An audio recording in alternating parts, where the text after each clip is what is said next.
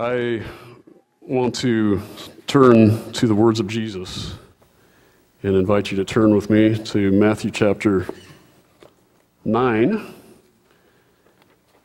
And Jesus sets about some simple words. Now, you, you, you realize when you read the Bible that God, even though the Bible is a big, big book, the first time I read the Bible through from, time, from cover to cover, it took me four years, okay? So this is a big book. But you realize when you pay careful attention, it's a big book because it took so long to write, and it has such a, an expansive presentation of God's dealings with humanity. But it's not a big book because God tends to wax wordy. God tends to be able to say great things in few words. Have you ever read the book of Proverbs? Now, there are times when God cares enough to take the time to explain things carefully, like Jesus did on the Sermon on the Mount. But even in the Sermon on the Mount, Jesus was very terse, wasn't he? He would deal with a subject, he would clarify it, bam, you understood it, light would come into your mind, and he would go on to the next subject. When it, came, when it comes to the saving of the world, Jesus has things to say to us who unite with him in that work because you realize that the influence of human beings who have been saved by Jesus are those that he draws into the work to be able to save the world. But his words tend to be very terse. I'd invite you to turn with me to Matthew 9, verse 37 and 38. Some very quick words that Jesus says. But because, just because it's terse and short and to the point does not mean that Jesus didn't mean something profound by it. It doesn't mean that we may not need to spend a little time unpacking what he says because I've noticed that though Jesus doesn't spare words, every word he says counts. And we do need to pay attention because they're directives for us. Um, so let's read this. Matthew chapter 9, verse 37 says, Then he said unto his disciples, The harvest is truly plenteous, but the laborers are few. Pray ye therefore to the Lord of the harvest that he will send forth laborers into his harvest. Okay, that's it. Jesus is done. He said what he needed to say. So let's you and me take this out and take a look at what Jesus is saying and see how this is our directive from our commander in chief, the God of the universe, seeking to restore fallen humanity back into relationship with himself, and how this is a directive for our lives. Okay? Now, he's using a motif an illustration, a parable. What is that illustration? It's the illustration of harvest. Thank you. Somebody's listening. It's good to see that. It's the illustration of harvest. So now, when I was a child, and we, we need to understand this illustration. Some of us didn't grow up on farms, so we need to understand this illustration and then see how what he says fits into that. Understanding the illustration helps us to unpack the meaning of his teachings. Okay? So um, he's using the illustration of harvest.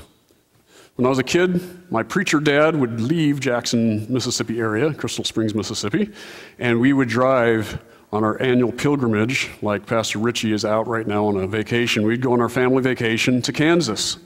And on our family vacation, we would go to my uncle's house, and it was harvest time and we would harvest thousands of acres of grain.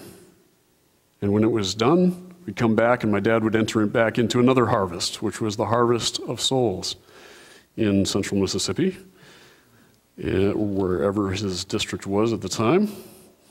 And so I would like to have some children volunteers because we want to take a look at harvest this morning. And I have, thanks to Wayne Suddeth, some practical tools of harvest. And I need three or four young people to be volunteers for me. I see a hand. Yeah, come on up. Come on up. And we're going to take a look at what harvest is all about. I need some more volunteers. Since you're our first volunteer, what is your name? Okay, B, you're going to be the farmer, and I'd like you to come and sit, stand right over here. Farmer B is going to stand here. Oh, good. Come over here. Now, I need you to be somebody that I'm going to tell you what you are. What's your name? Starting. Staden? Starting. Sterling. Okay, Sterling. You're going to be, because you're Sterling, I'm going to have you be something very Sterling. I'm going to have you stand right here, okay? You know, Sterling means strong, don't you? Can you make your muscles for me? Ooh. Okay, Sterling, st- stand right up here, and I'm going to give you something really powerful to hold in just a moment. You got to wait for me now. I need somebody who's not only strong but p- powerful. Do I have a powerful kid? I need a kid. Do I have a kid? I see. I see it. I see some other kids. Oh, come on up. Okay, here we go. All right.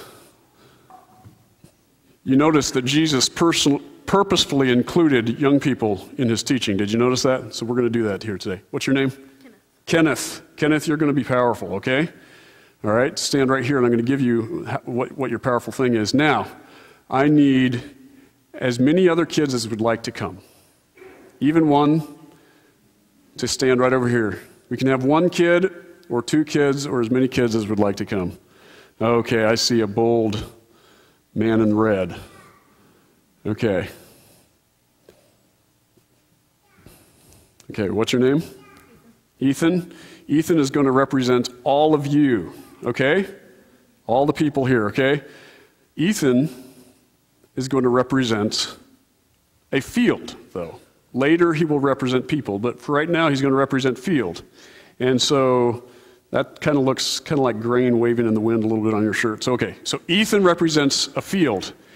He represents this whole field full of grain, har- acres and acres and acres and acres of grain. Now, Sterling is going to represent something, and you're going to represent something that Farmer B needs to harvest the field. Now, if Farmer B is going to go and harvest the field, what do you think she needs to harvest the field? Do you think she should just go into, let's say she has a thousand acres of grain, she should go with her hands open and just pull it all together and go carrying it to the farmhouse, right? Oh, you need tools. Okay, so you need a tool. Well, before she goes, she needs to put on her farmer hat, okay? All right, and she needs tools. So, since Sterling is the strong man, we'll put a strong tool in his hand, okay? There we go. All right. Now, let's think about this carefully. Now, what kind of tool would you need to harvest grain? Would you need a wrench or would you need a bigger tool than that? Okay. You'd need a bigger tool that the wrench would work on, right? Yes. Okay. So, now, do you have an idea, Sterling, what kind of tool you'd need to harvest grain? A winch. A winch would, would that would be very helpful if that tool got stuck. Let's just say that tool has big, huge, round tires. What do you think it should be? Okay. Say combine. Combine. Oh, she's so smart. A combine, a big tractor, not just a little tractor, a big, huge tractor. And it would have huge wheels, right? And you'd need a huge wrench. So hold the wrench right here. Now, if you had a tractor, a big, huge combine to go out in the fields and scoop up these grain and take it to the, to the silos, you need one more thing. You had a nice, beautiful Massey Ferguson combine, or John Deere, excuse me if there's farmers here that have loyalties, um, what else would you need? You have a farmer. Farmer B is going to drive the combine. Come on over here. You can be here to drive the combine. Let's see here. here here's the steering wheel. I'm just kidding. Okay, so um, what else would Farmer B need along with her combine to go and harvest the field? Okay, so you'd need other tools, right? But assuming that we're we've got our tools in place and we're going to use the combine as the example of the actual going into the field to harvest that stuff. What you would need fuel because otherwise it's just a hunk of metal sitting there, right? So you need power. Thank you, Wayne Sudduth, and I'm sure this is the first time that a gas can has ever been brought to stage. So this is here. You want, want to hold it there and be sure you don't spill it. Okay, this is the power. Okay, so you would need the fuel that goes in to the combine to go and harvest the field. Okay? Now, Farmer B, I'd like you to stand over here for just a moment. I want you to remember this picture. This is a visual. The farmer, the fuel, the combine, and the field. Okay? You guys got that picture? Okay, now, I want you guys to come and help me harvest this field for me. Let's put your, put your hands out like a combine. Let's scoop this guy right off the stage. okay, thank you so much. You guys can go back to your seats. Thank you, man. And yes, that gas can has a protective covering underneath it, under the pulpit, just, just in case you were wondering.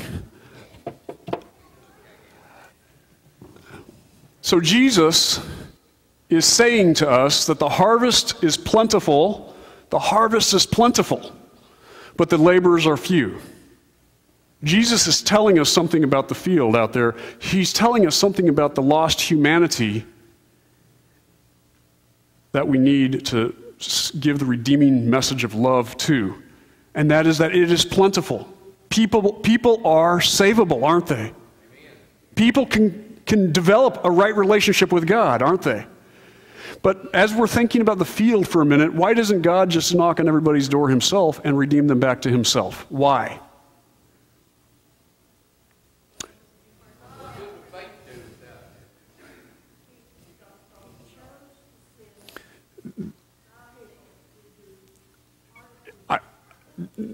Do you hear? We're thinking about this, aren't we? All of us are thinking about why. Why do we have people that turn against God in our lives? The harvest, though, is lost humanity. And the reason why is because it is a relationship that was alienated. I don't know if any of you folks have ever been through divorce court, but in our country right now, we have this huge rash of fallen marriages and fallen families and divorces and crashed relationships. And if any of you have been through a broken relationship, you realize that in order to reconcile that relationship, often you cannot go directly to the person who's alienated. There is a need for mediation. There is a need for something to happen, a go between, something to happen.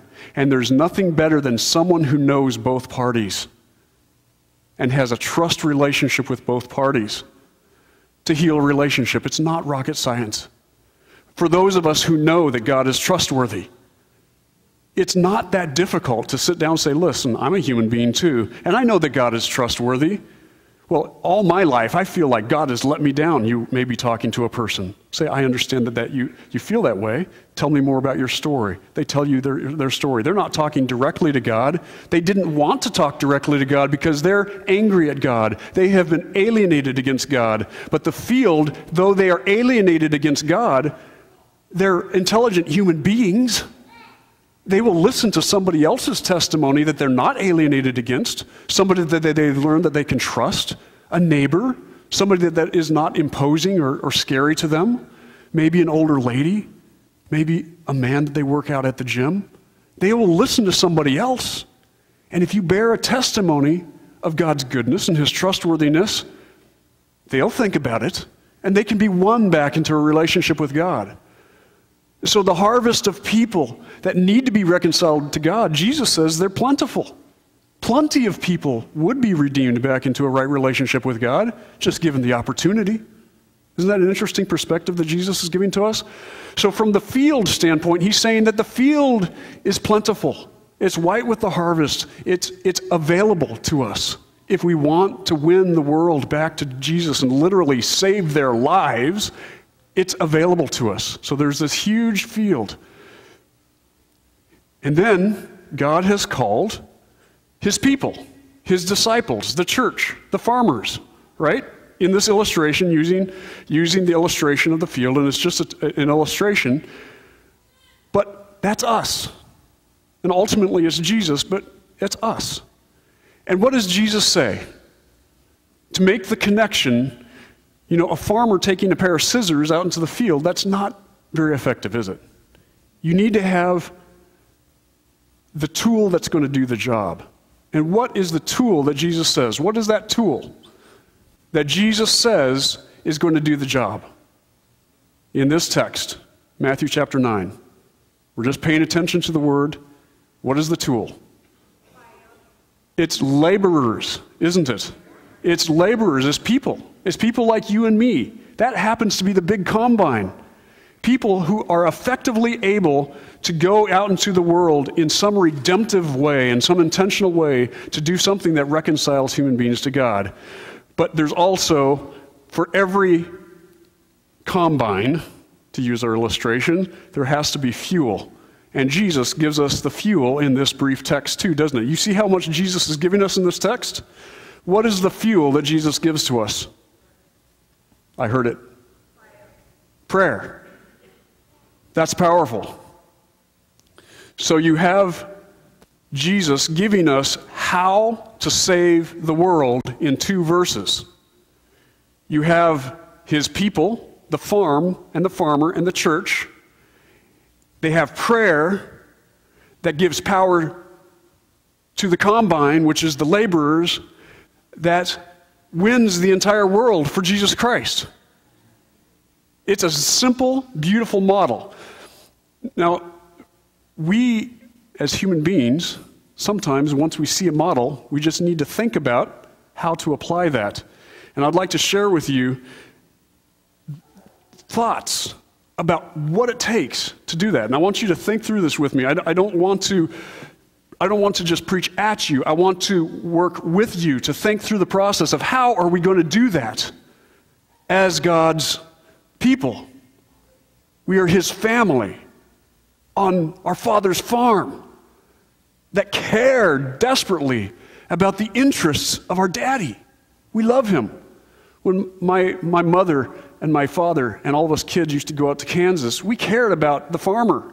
He was Uncle Steve. Uncle Steve had been the, the man who had tossed me up and laughed with me when I was a little boy. He is, was a man, and he is a man, who loves me.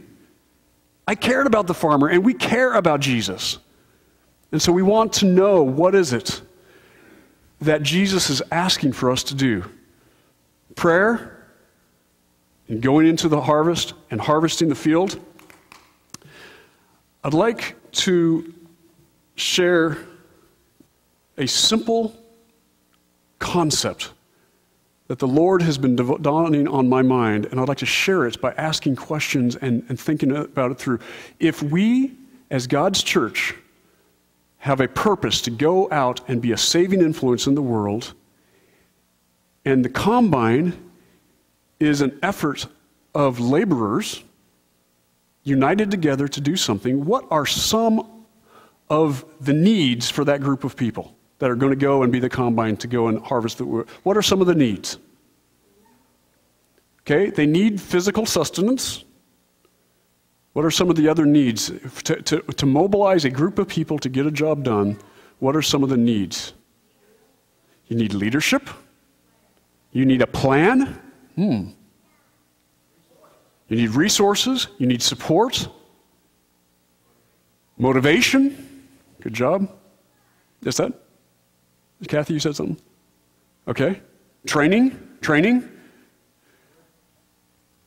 Do you, do, you, do you see how, just as a combine has to be kept in ship shape to be able to do the job, that group of people need to be well organized, well greased, well fueled, and prepared to go out into the. It, it, is, it is taking Jesus seriously and, do, and, and simply developing an organized effort. Now, the College Drive Seventh Adventist Church, I want to praise the Lord, is an example of an ever developing organized effort to bless this world, is it not? Praise the Lord. So, my study has been all of my life what is Jesus' directives for organizing that work? He has specific directives for organizing the work. And we're talking about some of this more and more on Wednesday nights. But I'm wanting to think of those big wheels of the combine as being an, idea, as, as being an illustration of that organized work where you have a hub moving out into the field and the various spokes of the hub going out into the field, and every person being plugged in to fulfill their unique purpose, their unique gifts and talents to the world. I want you to think for a moment what is it that you love to do for Jesus? That you love to do for Jesus. Not what you do every day, but just if you had the opportunity, what you would really like to do for Jesus. Okay, just, just think about this for just a minute. In specific, what are things that you specifically would love to do for Jesus? Now, me and my brother um, just over the shoulder had a contact this morning that he's a welder. And he shared with me, and there was, a, there was like a charge in his voice. He's, he's finding out that we're doing field schools, teaching practical skills and gospel outreach skills together. And he mentioned, I would love to share my welding skills in a context for Jesus. Isn't that, isn't that the neatest thing? So, what would you love to do for Jesus? I love, I love when, when an illustration, what we're talking about, is happening right now. What would you love to do for Jesus? How would you like to use your life? How do you feel called and passionate about using your life for Jesus? The illustration is the hub of the wheel being the church, where each person is meaningfully plugged in, and together we roll out into the field. I'm using word pictures to help us to think about this. In the third world, when a missionary goes to a bunch of tribes that don't know anything about Jesus, maybe they're malicious, hateful tribes of people that know nothing but warfare, okay? Let's just say. And missionaries come wanting to teach them love, wanting to teach them a new life. And they're all worshiping demons and, and, and they're tormented by superstitions. And the, the disciples of Jesus are coming, missionaries of Jesus are wanting to do something to make an inroad. What does a missionary do?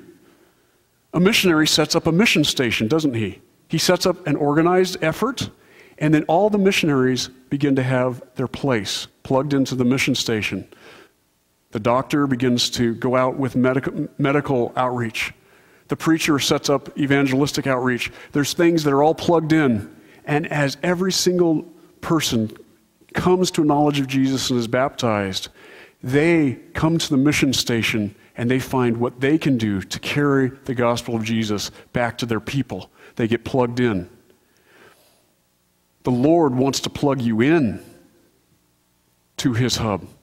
And those of us who are in leadership have a responsibility to begin to develop and then to continue to develop an efficient, organized hub of ministry so that each person can be plugged in, so that each person who has a burden for Jesus can be meaningful, meaningfully plugged into the whole. Because we are one body, the New Testament is very clear on, and all of us together it's the laborers are few. It's the group of us together that's going to harvest the field. It's not one of us all by ourselves standing on a street corner with a placard and yelling, okay? That's not Jesus' method. Jesus' method is all of us together, uniting together. If you want to understand more about that and think more about that, talk about that with me and with Richie because we have an ongoing discussion in terms of how to create that hub, that mission station. Now, I just want to just say here in North America, the Seventh day Adventist Church was the fastest growing group of Christians in the United States in the late 1800s. People would come to the Seventh day Adventist Church from other Christian churches and denominations to study how is this church booming like it is. This is crazy. Is such a fast growing church because we were highly organized. We are doing outreach for the community and uh, incredible things. The church has matured, but with maturity, sometimes we forget our roots in North America, we begin to be ascending agencies to send people and resources into the third world because we realize that Seventh Adventist Church was organized for one thing, and that's missions. That's the whole reason why we were organized. And so we begin, starting with J.N. Andrews being sent to Switzerland, we begin to send missionaries, missionaries, missionaries to the outside world. And in, the, in North America, we begin to forget that we have a mission field right here we were rich and increased with goods, the mo- most prosperous nation on earth. And part of the reason why the United States of America is so prosperous is because we begin to have advanced health care and advanced ways of approaching life. And part of that was because God's work had launched here and God's people were working here. And it changed our world. And we've been sending things out, but in the last 30 to 40 years, the, as the population has been increasing, we've been increasing by 2 to 3% a year, but the population has been increasing by 7 to 8% a year, which means that here, while our church has been expanding in the world, the message has been going out. Here in North America, there has been a slow decline. Have you noticed that? There has been a slow decline. When I was here as a kid in the 1980s, there were two Adventist churches where now there is one. And I praise the Lord for this one beautiful church. But you do realize that as much as I'm so excited of, about the way the Lord has sustained his work in central Mississippi, you do realize that there are some indicators even here of slow, gradual decline. It's not because the work is slowing down. Do you realize that the Seventh day Adventist Church is the number one fastest growing Protestant denomination in the world? It's not that this work has slowed down. It's just that here at home, we've had a tendency to be sending out, and we forgot that sending out needs to happen here at home as well, too. And so I would encourage us to think of the mission model. So we have the missionaries that are plugged in together here, and then you have the fuel. Now, what again is that fuel? What is that fuel? Prayer. Now, we want to focus for just a minute on that prayer, okay?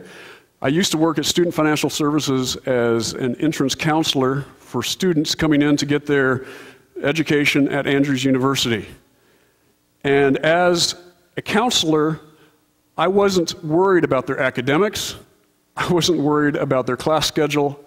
I was worried about the funding to get them through their education at Andrews University, which was the second highest cost education in the state of Michigan. It was very costly. At that time, it was about $20,000 a year to get through your education at Andrews. It was, it was horribly expensive.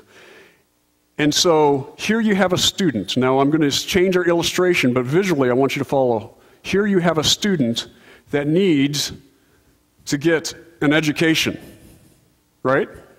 Okay, so this is our new illustration.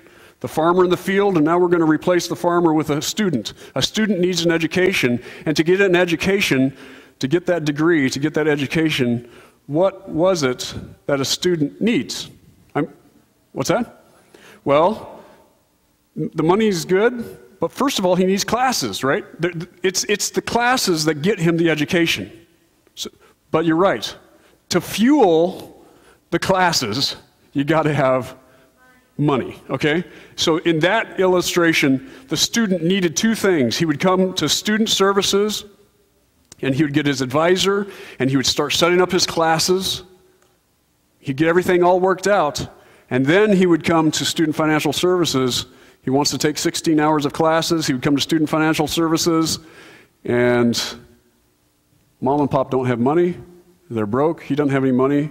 He needs $20,000 to cough up. I mean, it becomes an issue, right? Because his education needs to be fueled with something. At Student Financial Services, which was the power for a student to get their education, we recognized that not having the money was very dangerous for students. So we had many advisors. I was one of many advisors that would hover over student accounts. We had the students broken up in the alphabetical orders, and we had advisors focusing on various levels of the alphabet, focused on the needs of their students. And every day, if the student would drop down into the red, which means that he didn't have the money for the education that month, it would show up on the advisor's screen beep, beep, beep, so and so is having a problem. And we'd have to call the student and say, Come in, we need to talk about your account. Right? We'd have to bring them in and talk about their account. Because you can't let it go forever, otherwise, they bottom out and they lose the opportunity. The next semester, they can't come back because they're not paying. So, we hovered and it was organized. We had, we had an infotech guy that was taking care of the computers and the systems of the advisors. We were so organized and so calculated to make sure they had the money for their education. Now let's take our illustration again. What was the fuel to harvest the field of the world again? It was the prayer. It was prayer. The harvest is plentiful, but the labors are few. Therefore, pray, Jesus said, to the Lord of the harvest. We need, as a Seventh day Adventist church in central Mississippi, to have prayer ministry that is as organized or more organized than any university student financial services. I'm putting something out there. May the Lord cause this to awaken somebody who is called today. If you study this, we could, we could preach all morning just on prayer ministry, but I'm telling you, if you are 60 plus, if you're getting older and you don't have the energy anymore to go out there and hit the field and share the gospel in that way, did you know that there is a call for you, and specifically it has to do with prayer ministry? But we need prayer ministry to be as carefully calculated. We need to have every person in this metro area that this church is responsible for, every person needs to be prayed for. Every block, every street, every little town, every outlying region needs to be prayed for, prayed for, and prayed for. And let me tell you something. Let's just say one of our young men decides to go out and give Bible studies in that area. That young man needs to be prayed for. Let's say a young woman has a burden to minister to the single battered women in a certain area. She needs to be prayed for by his, her prayer ministry over that area. Do you see how we need to be much more intentional, taking Jesus seriously? We need to have a prayer ministry that is as organized and as calculated and as funded, hopefully, as a student financial services in one of our universities. I'm not joking. We've got to take the Lord seriously. We're winning the world. We need to also have our outreach plans as carefully calculated as a class schedule to gain a doctorate or a master's degree in education. We need to be as carefully calculated and planned. My life and my goal and my burden has been to pray through that, and I'm discussing it daily and weekly with the Lord, but also with Pastor Richie and with this church. That's what he invited me to come to specifically take the outreach aspect of the church and to turn it into a well greased machine. And, folks, if the Lord has given you a vision, an administrative vision, or any contributing vision to how to be calculated and how to be specific and how to be well organized in winning the world to Jesus, you need to be talking to me. I need to talk to you. And, I, and if you're interested in hearing what the Lord has shared with me, because I have visions that come directly from the Bible that I would love to share with you, and I don't even have time. There, there's not enough pulpit time for that kind of stuff. We're gonna, it's going to take we're us pressing together and spending hours working this thing out and developing this and organizing this because it takes organization and effort and enterprise. Are you, are you folks understanding, thinking wise, how we need to begin to think more concretely about the words of Jesus? He, he, he's very terse. We're not going to go to other scriptures this morning. This is one, two verse scripture. Jesus says that we need to take him absolutely seriously and we need to get off of our Laodicean, lazy stance as human beings, if we don't have a vision, we die. Okay? The scripture is very clear. And the problem is that we forgot that Jesus himself gave us our vision. So we need to take this vision and we need to study it and we need to do it, folks. Are you with me? Amen. Let's do this. I would like to take just a moment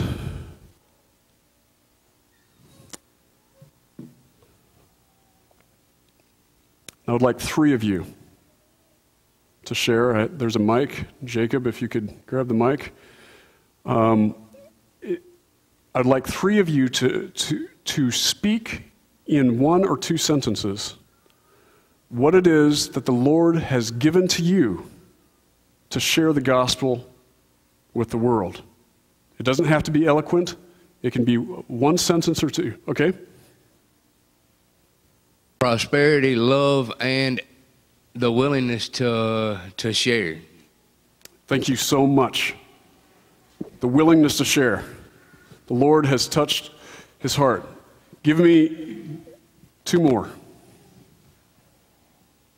What has the Lord specifically put on your heart? Yes, Kathy? The Lord has put on my heart to show people love and hospitality and to witness to people, and most of all, prayer. Prayer is a primary important. Okay, so witnessing, hospitality, and prayer. These are huge. Those are very specific things. Thank you so much. Yes, Jacob. I feel that God calls us, me, to give mercy, empowerment, prayer, and action. Okay? Prayer, mercy, empowerment. Okay? Now we're, we're dealing a little bit conceptually. For the last person, I'd like to have a specific thing that the Lord has called you to do, rubber meeting the road. Anybody here? Yes.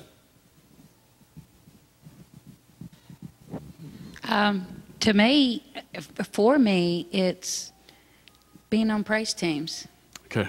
and singing for Him because that's that's what I'm doing. He gave me the gift, and that's what I'm using it for. I'm using it to glorify Him. Okay. Specifically, she feels that praising the Lord Sabbath, giving that, because that's part of the reconciled thing, to, to praise Jesus versus the opposition is part of the reconciled experience with God. Thank you so much. I do want you to call your attention, your bulletin. I love the Jacks. I mean, I keep thinking of it as jacket. The College Drive Church's bulletin, I love because of this little flap right here. If you've never filled that out, fill it out. Um, and be in prayer in terms of what the Lord would have you to do. Remember that we are all called, and I would like to make a call this morning. If you are willing to be part of the answer to the dilemma, the great dilemma that the king of this universe has, to win a lost and dying world to the Lord, and you would like to do something that, that involves your talents, your dreams, or even the sacrifice of yourself and your dreams, if you're willing to do whatever Jesus asks you to do to share the reconciling work with the world, I'd like to invite you to come forward. And if you would like to, after we pray together, if you'd like to stay by and share with me, I have a piece of paper and a pen. And I'd like to write down the burdens and the concepts that you have that you would like to see happen in your life and how you would like to be plugged in to the church as it reaches out to the world. So please come forward if you'd like to join Jesus in sharing his reconciling love with the world. And feel free to stay afterwards if you'd like to share something specific.